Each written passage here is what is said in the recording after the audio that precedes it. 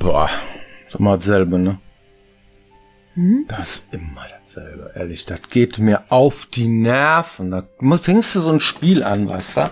Und dann, und dann steht dann da, ja, wenn du die Figur bewegen willst, dann musst du WASD drücken, weißt du? Also, also ey, komm, ey, ohne Scheiß. Sind die Entwickler bescheuert oder was? Was natürlich, ich weiß, ich weiß doch, WASD ist doch Standard, oder nicht? Mhm, ja, aber, aber meine Mutter.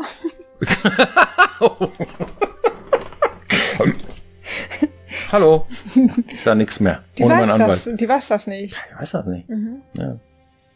Ja, Bothering Tutorials. Hallo, wir sind Piranhas, zwei davon und erklären euch ein bisschen was über unseren Alltag und über unsere Probleme als Entwickler und dazu gehören Tutorials. Die nervenden, Bothering.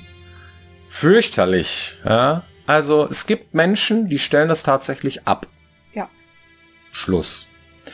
Wir haben da schon mal drüber gesprochen, über Tutorials. Könnt ihr auch unten in unserer Kladde nachgucken, ja, über Tutorials. Die sind immer wieder ähm, Thema bei uns, weil wir halt äh, oft danach gefragt werden, könnte das nicht irgendwie ein bisschen anders machen oder einfacher machen. Ich brauche das doch nicht. Das nervt mich doch nur, das ist doch Standard und so weiter. Man weiß doch, wie das funktioniert und so. Ja, Steuerung der Figur und so weiter, aber sobald der Kampf losgeht, es gibt ja irgendwie schon so eine Sache wie, ja, der gelbe Balken ist Ausdauer, der rote Balken ist ähm, äh, HP, hier Hitpoints, ja, und äh, das ist doch völlig klar, muss mir doch keiner erklären.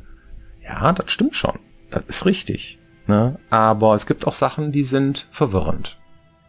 Und darum haben wir weniger als 100 Leute gefragt, bist du jemand, der gerne ein Tutorial abstellen möchte? Oder findest du sie eher hilfreich? Und die haben Folgendes gesagt. Ich finde sie super hilfreich. Also auch wenn ich halt seit Jahren spiele, es sind ja immer wieder andere Spiele, also ich mag Tutorials. Ähm, Tutorials können schon hilfreich sein, gerade wenn es halt um schwierige Rätsel geht oder Mechaniken und man da wirklich ewig dran geknabbert hat, dann ist auch irgendwann mal gut, sage ich mal. Ne? Am besten ist es, wenn man gar nicht merkt, dass man in einem Tutorial ist. Ich hasse Tutorials. Ich möchte die auf jeden Fall überspringen. Ich hasse Tutorials. Ich hasse sie. Das erste, was ist, wenn ein Tutorial startet, ist, ich drücke Escape, um zu gucken, ob das Tutorial zu beenden geht oder zu überspringen. Ich bin auch jemand, der erstmal versucht, ein IKEA-Möbelstück ohne Anleitung zu bauen. Also von daher ähm, ich würde es wahrscheinlich versuchen wollen, erstmal abzustellen, aber danach äh, dann vielleicht doch nochmal versuchen anzumachen, falls ich irgendwas übersehen habe und nicht weiß. Mag ich nicht. Ich finde, ich werde gegängelt im Tutorial, Sachen zu machen. Also klar, es ist schön, wenn ich auf Knopfdruck, wenn ich es brauche, dann erklärt bekomme, okay, das macht die Taste oder sowas. Oder manche Tutorials sind ja auch ganz gut integriert und man merkt gar nicht, dass es ein Tutorial ist. Aber so Spiele, wo man die ersten zehn Minuten rumläuft und dann steht da, drücke jetzt A, um dich zu ducken. Und es tut mir leid, also da kann ich nichts mit anfangen. Ich finde, das ist auch irgendwie überholt. Brauche ich nicht. Das einzige Tutorial-Modus, was ich mag, ist, wenn das Tutorial in den Anfang vom Game integriert ist. Also man das gar nicht so mitbekommt. Ähm, das war bei Elex zum Beispiel, wenn ich jetzt auf Anhieb denke, ähm, genauso. Und da gab es noch zwei, drei andere Games, die mir jetzt nicht einfallen, wo das auch so war, dass man gleich in das Spiel reingeschmissen wird, die Story schon angefangen wird zu erzählen und beim Erzählen ähm, das Tutorial gemacht wird, so ein bisschen. Ne? Jetzt habe ich wieder zwei, drei Games gehabt, da hat man so ein richtiges eigenes Level, wo man erst durchspielen muss, wo man das richtige Spiel spielen kann. Katastrophe für mich, absolute Katastrophe. Ansonsten ähm, ist es gehöre ich tatsächlich eher zu den Leuten, die das Tutorial eher überspringen. Ja. Ne? Also, das letzte Mal, als wir über das Thema gesprochen haben, haben wir unwahrscheinlich viele Vorschläge bekommen, wie man schöne Tutorials einbauen kann. Dabei muss man erstmal unterscheiden zwischen diesen einfachen Einblendungstexten, die einem ganz grob Steuerung und erste Einführung ins Spiel erklären Ne? Dann hält aber auch das Spiel an und du musst dir das durchlesen und du musst auf eine gewisse Taste drücken. So ein Pop-up-Text ist das. Ne? Genau. Ein richtiges Leute, Tutorial halt. So erfahrene Spieler, für die ist das schon schön, wenn man das einfach abstellen kann. Ja. Ne? Ähm, natürlich muss man als Spieler quasi damit leben, wenn ich jetzt sage, ach komm, weiß ich schon alles, krieg ich schon irgendwie hin. dass man dann das eine oder andere neue Feature vielleicht mal verpasst, aber äh, kriegt man schon irgendwie hin. Also man muss jetzt nicht nochmal erklären lassen, wie das Spiel gesteuert wird, wenn man irgendwie, was weiß ich, den Vorgänger schon gespielt hat und da hat's auch geklappt.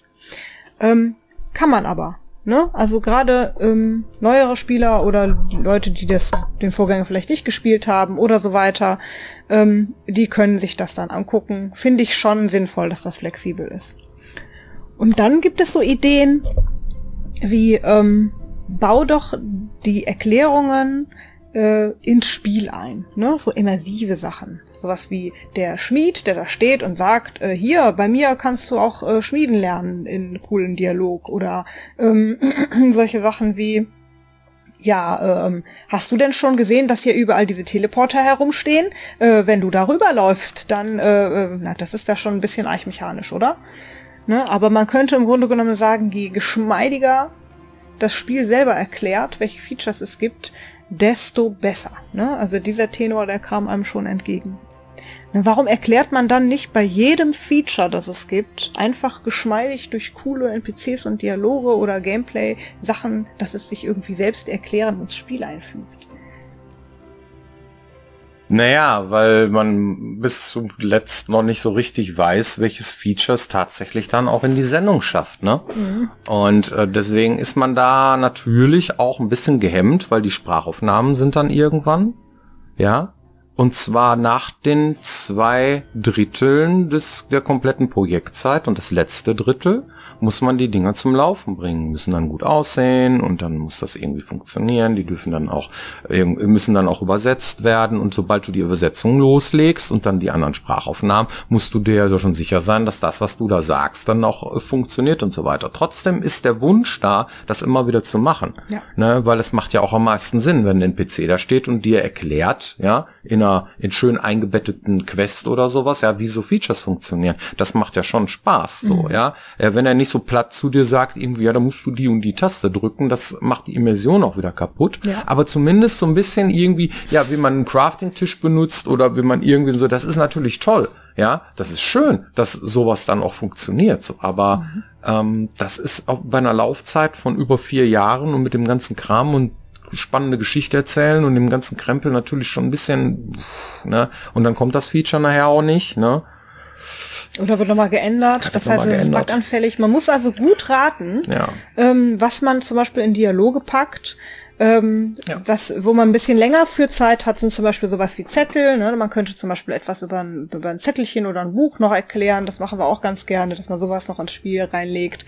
Und ähm, das ein oder andere Features da nochmal fallen lässt, irgendwie, wozu ist was gut oder so. Das, das kann auch sehr gut in, in, in, die, in den Hintergrund der Welt passen, je nachdem, wie man das ausschmückt. Aber es ist dann immer so ein bisschen, äh, ich sag mal, ähm, ähm, in, schlau, wenn man das ein bisschen objektorientierter formuliert, solche Sachen, damit sie potenziell auch im Spiel bleiben dürfen und nicht irgendwie, nachdem die Sprachaufnahmen zu Ende sind oder die Lokalisation gelaufen ist, wenn das Spiel in unterschiedliche Sprachen übersetzt wurde, dann, dass man dann irgendwie sagt, äh, ach, jetzt muss ich meine Zettel alle rausschmeißen, die zu dem Feature irgendwie bla bla bla sind, weil das Feature wurde geändert. Das ist natürlich. Ja, dann macht man es halt irgendwie so objektorientiert und schreibt, sagt dann irgendwie so allgemein, so ich zeig dir jetzt mal irgendwas und bla und tut das dann einbetten und dann kommen dann halt die entsprechenden Texte dann oder so. Ja, ja, ja, ja. Hm.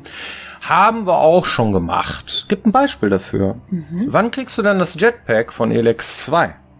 Den kriegst du im Dialog von Dawkins. Ach, übrigens, ich hab hier noch ein Jetpack, falls du noch keins hast. Und dann kriegst du das. Hast du dann ein Jetpack achieve, äh, äh, received, ne? So. Ähm, das war ein Fallback. Das war ein Notfallplan, ne? So. Und äh, das heißt, ich habe diesen Dialog geschrieben, weil ich wusste, irgendwann brauchen wir das Jetpack den wollen wir mal nicht direkt am Spielstart schon haben, dass die Leute über Freund, äh, Freund und Feind wegfliegen irgendwie, sondern du sollst erstmal erklärt kriegen äh, am Anfang des Spiels, wie du kämpfst und äh, wie du Items aufnimmst und wie du läufst und den ganzen Kram, weil das gehört einfach dazu. Das mag äh, ne, annoying sein oder nervig sein oder so, aber du musst doch erstmal anfangen mit irgendwas, so, damit man die Leute nicht sofort überfordert mit allem. ein kurzes Stück. So, ne, mhm. und dieses kurze Stück, das ist halt, äh, ihr kennt den Spielstart von Elex 2, wenn ihr das gespielt habt. Ähm, dann kommt man, irgendwann kommt dann noch eine zweite Cutscene. wo man von Monstern verfolgt wird. Und dann, dann kommt der Dialog mit, äh, äh, mit Adam, ja. Und äh, der gibt dir dann die, Das Jetpack. das Jetpack, so, ja. Wir hätten es auch vorher hin tun können. Äh, dann legt man es halt da irgendwie hin. Hm, ja. Aber dann kann das sein, dass wenn man es da hinlegt oder da hinlegt und da hinlegt und da und da, dass der Spieler trotzdem dran vorbeiläuft und die ganze Zeit ohne Jetpack das Spiel spielt und sich dann darüber beschwert, ja, wie blöd ist das denn? Das Spiel hat kein Jetpack. So. Und einfach irgendwie erscheinen lassen. So, jetzt hast du das mit dem Pop-up, fand ich doof. Dann haben wir wieder dieses, dieses Beispiel. So, ja, ach übrigens, du hast noch in deiner Kiste da. Nee, nö. Das machst du dann im Dialog. Das ist einfach gewesen. Da konnte ich es auch ins, in Dialog dann reinpacken und so ein Fallback machen, der dann nachher der Standard war. So, ja, das, das heißt, es ist auch so geblieben. So, du, ach übrigens habe ich noch ein Jetpack hier, benutzt das mal. Weil wir keine bessere Stelle gefunden haben oder eine bessere, ja, wo das Spiel auf jeden Fall vorbeikommt und das wir halt garantieren, dass der das Jetpack hat, ab dem Dialog. Und danach wird das Spiel frei. Und das ist auch unser Problem. Wenn, ne, das, das heißt, es ist auf der einen Seite ein gutes Feature, viel Freiheit zu haben im Spiel. Auf der anderen Seite ist es aber auch das Problem, wo baust du das Tutorial ein? Hältst du einfach mitten im Spiel ständig immer den, der, der ach, jetzt will er mir irgendwas erklären. Das nervt doch, oder? Das ist so, ähm, ja, genau, der Wunsch des Spielers macht doch möglichst früh frei. Ja. Das, äh, je, je länger sich das zieht am Anfang irgendwie, diese Einführung ins Spiel, desto ähm, blöder kann's werden. Also wollen wir möglichst, wenn wir Freiheit verkaufen, auch den Spieler möglichst schnell frei lassen, dass Ja. er selber entscheidet, was er als nächstes machen Ja. kann und sich auch völlig frei in der Spielewelt bewegen kann oder könnte. Und das bedeutet, dass man nur einen kurzen Ausschnitt hat, in dem man den Spieler einführt ins Spiel. Und welche Dinge sind denn jetzt in diesem kurzen Stück so wichtig, dass sie ins Tutorial müssen und welche nicht? Welche darf Ja. man weglassen? Auch auf die Gefahr hin, dass der Spieler sie vielleicht dann überhaupt gar nicht sieht. Oder dass er, äh, es, äh, was weiß ich, 20 Stunden spielt und dann erst rafft, ach Mensch, ich kann ja hier äh, noch äh, was ganz anderes oder so. Ne? Es gab auch, äh, gerade bei Elex 1 ist mir das aufgefallen, beim 2 ja eigentlich gar nicht mehr so, dass äh, viele Spieler ganz lange gespielt haben am Anfang, ohne das Jetpack irgendwie zu benutzen, weil denen überhaupt nicht klar ist, dass es da ist, dass sie es benutzen können. So, ah, ah ja, äh, hüpf, hüpf war es jetzt so, lauf weiter. Und äh, dann denkst du, ja, aber, aber du kannst da fliegen. Äh, okay. Da helfen Tooltips, die ab und zu mal aufploppen. Ne? Es gibt ja auch in regelmäßigen Abständen das irgendwie so. Vergiss nicht, die Alchemie zu benutzen in einigen Spielen so. Oder hast du schon deine Spezialfähigkeiten benutzt? Und ne, also so äh, bei Bioshock ist das sehr häufig so. Ne? Bioshock, das verleitet einen dazu, immer mit der Wumme rumzuballern. Und die Magie, die das Spiel hat, diese ähm, Adam und Eve, äh, ich weiß gar nicht, diese Magiesprüche, die man hat, so, ne? Ähm, die, die, äh, die, die zu benutzen, dann kommt dann irgendwann so, vergiss nicht, deine speziellen Fähigkeiten zu benutzen, so, ne? Ähm, das ist dann so ein, so ein, so ein, so ein, so ein Tool-Tipp, ist das. Das ist ein Tipp, der dir gegeben wird, aber der, der reißt sich nicht raus, hält den Bildschirm nicht an oder so, oder ma macht, macht dir Probleme, sondern weist unten einfach nur mit so einem Lämpchen hier, guck mal, du könntest. Oder wenn du an eine Kante kommst, wo man klettern kann, hier kannst du klettern. So, ne? Die Taste zum Klettern drücken oder sowas. Sowas haben wir ja auch eingebaut. Tooltips finde ich richtig cool. So, ja.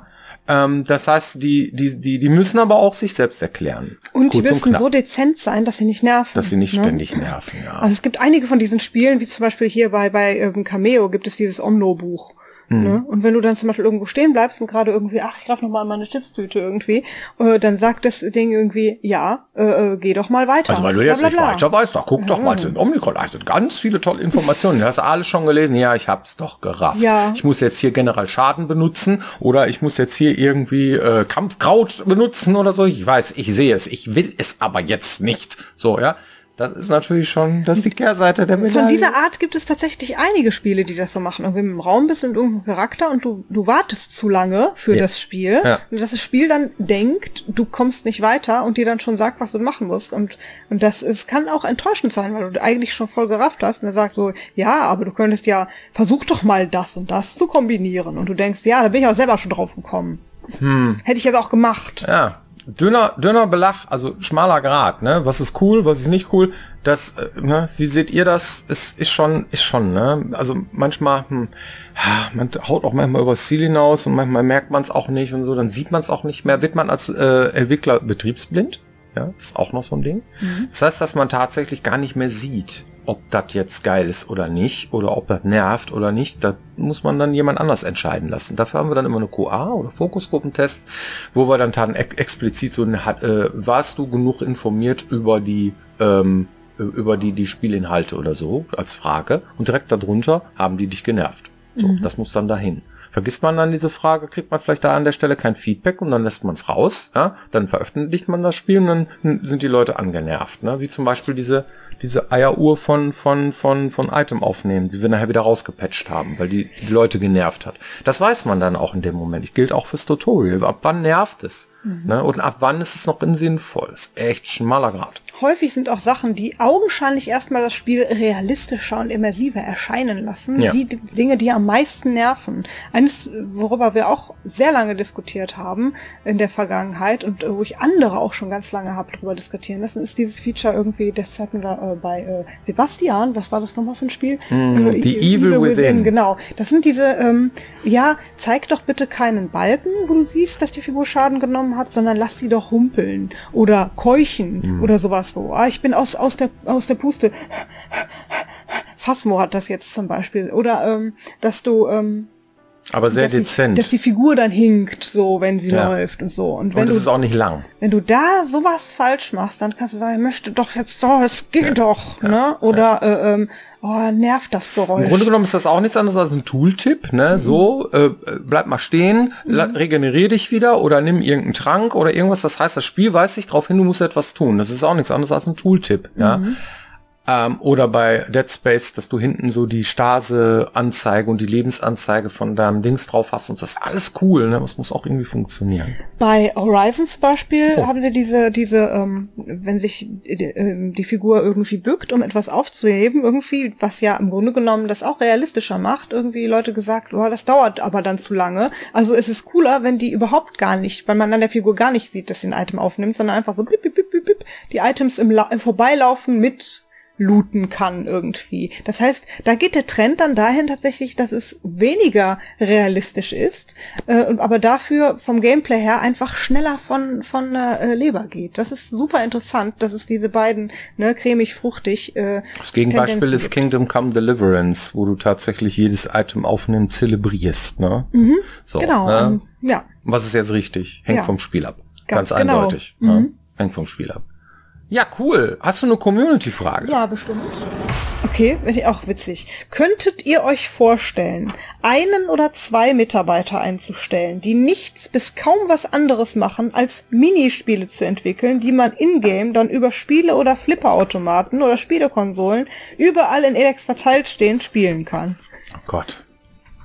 Erstmal muss die Notwendigkeit da sein, äh, ähm, dass wir glauben, dass das eine gute Idee ist. Ja, Nur viel einbauen. Haben wir eine Sendung drüber gemacht, ne? More Feature, more better game, ja, ist die Folge von letzter Woche, glaube ich, dann, ne? So.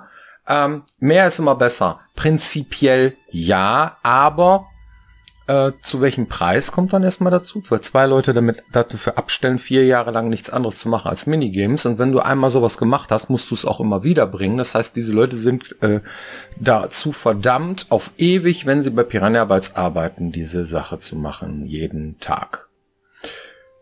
Äh, Schon mal das erste Problem, schwierig. Es muss schon ein bisschen interessant sein. Der, der, der, der Spa äh, Job muss Spaß machen. Ne? So. Weil wenn es nur noch als ja Job empfunden wird, so, ich mach meinen scheiß Job da, ne, dann ist das blöd. So.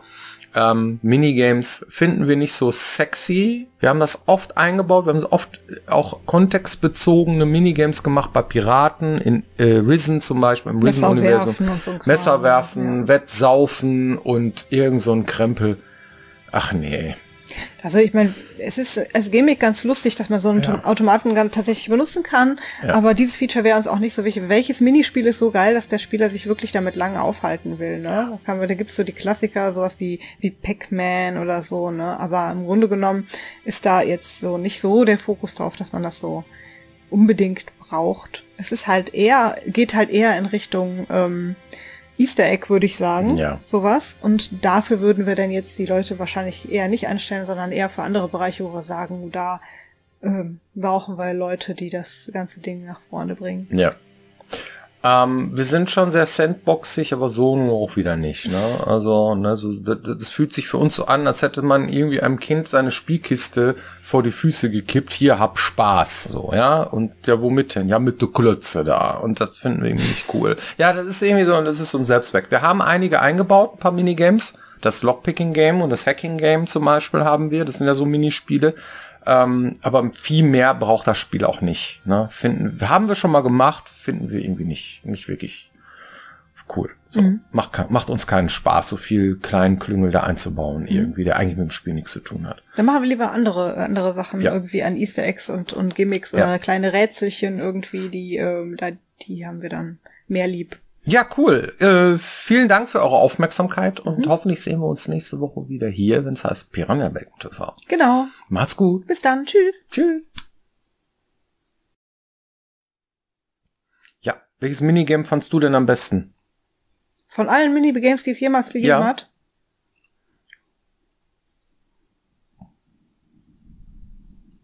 Ich weiß, was ich am schlechtesten fand.